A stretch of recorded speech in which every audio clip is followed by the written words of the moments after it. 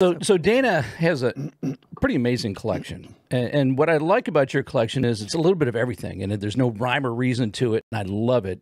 Um, and platypus, which if if you've been following any of our social medias, you've seen platypus, crazy thing. Started off as an airplane, 1948 airplane, and now these two guys are reimagining it. So, Bruce, Dana roped you in on this.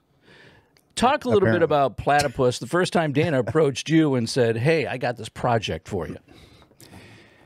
Well, I more or less decided to um, try to retire a little bit, slow down the process. I had a shop in Monterey where I was doing five or six projects at one time, and and I, I turned 65 or so, so I decided to uh, attempt to retire and just kind of finish up a few cars that I had going at the time.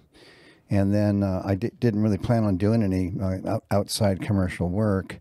But he walked in, and I just, I just, you know, liked his character, and his enthusiasm in the first place. and uh, did you two know each other before that?